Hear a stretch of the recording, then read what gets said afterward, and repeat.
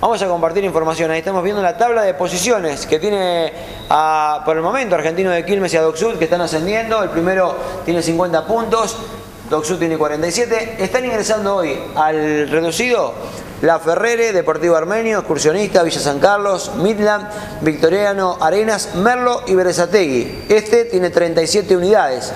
Italiano 35, Alem hoy está con 34 puntos y Luján en el puesto 15 tiene 30 unidades. La próxima fecha, atención porque uno de los líderes argentinos de Quilmes será local de Villa San Carlos. Doc Sud tendrá un duro rival, Maswich, frente al Deportivo Armenio. En tanto, Luján será visitante de San Martín de Bursaco, mientras que Alem va a recibir la visita de Ituzaingó.